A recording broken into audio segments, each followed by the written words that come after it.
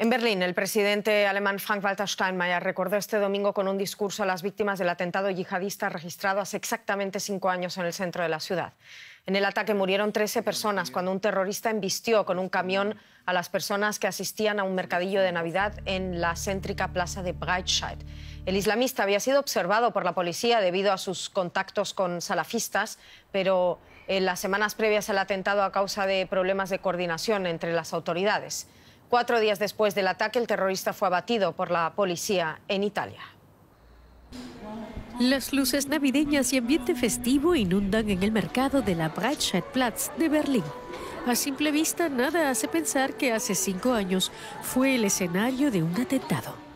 Pero Max Müller nunca olvidará ese día. Este comerciante escapó milagrosamente con vida después de que un camión irrumpiera en la plaza y destruyera su puesto. Estaba trabajando cuando oí un fuerte ruido.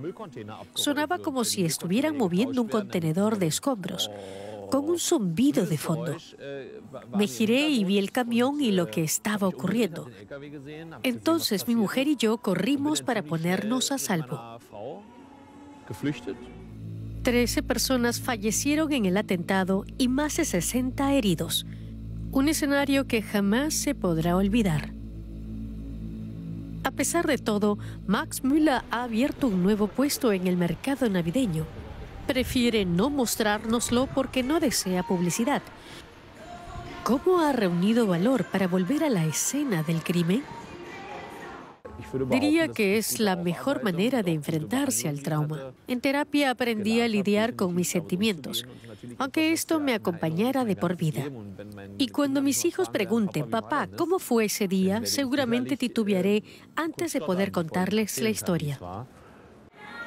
Muchos visitantes tienen sentimientos encontrados al estar en este mercado navideño. Hay una atmósfera festiva pero también una sensación de profunda pena al recordar a las víctimas. Siento un escalofrío por la espalda. No puedo expresarlo con palabras. Cuando ves las luces y hueles las salchichas, consigues olvidarte por un instante de las cosas malas. Fue horrible, pero no se puede cambiar lo sucedido, lamentablemente. Ceder ante el terrorismo no es una opción, dice Max Müller. Sus compañeros le dan la razón. Esto siempre nos acompañará. Algo así no se puede olvidar. Pero nos decimos que tenemos que seguir adelante sin mirar atrás. El recuerdo del atentado no se desvanecerá, pero el espíritu navideño ha regresado a la berlinesa Breitscheidplatz. Berlín, cinco años después de ese devastador atentado contra un mercadillo de Navidad, conectamos con nuestro corresponsal político Andrés Goldschmidt. Andrés, ¿qué destacas del discurso del presidente federal Frank-Walter Steinmeier?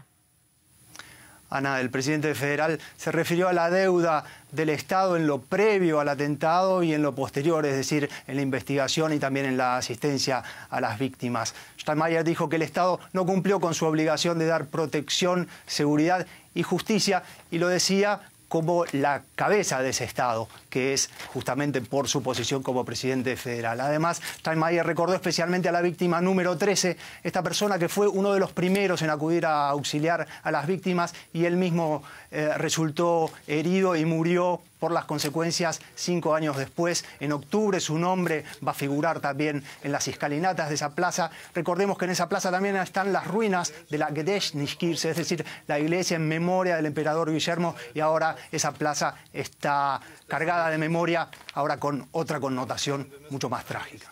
Mm. Andrés, cinco años después siguen quedando además muchas preguntas sin respuesta. ¿Qué se cuestiona del accionar de las autoridades y qué reclaman eh, las víctimas de los familiares fallecidos?